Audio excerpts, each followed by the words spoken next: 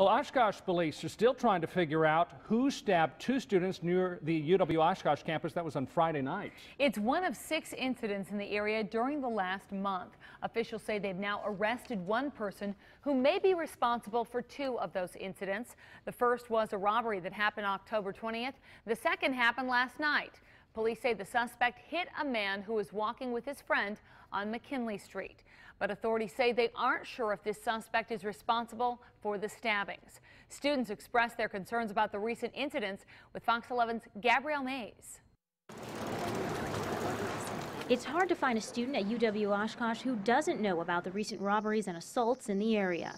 Blaine Wolf lives off campus. He says he was home last Friday night when two male students were stabbed. I did see plenty of officers out. Um, they were actually scouring yards looking for either something or someone. Police say they have one man in custody and are looking for at least one more suspect. However, police aren't sure if the same suspects are responsible for all of the incidents.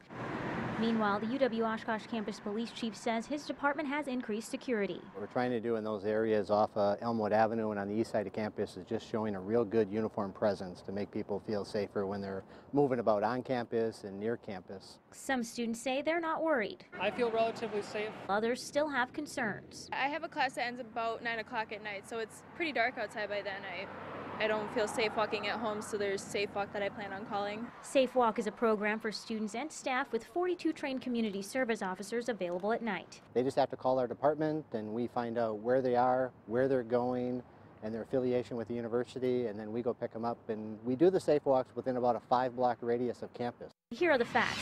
From September 1st to October 26th, there have been 280 safe walks. 192 safe walks have been given since September 27th when the first assault happened on campus. More than 5,000 phones have registered with the school's text message alert system. And there have been more than 10,000 downloads of the most recent version of the UWO On The Go mobile app, which includes safety features.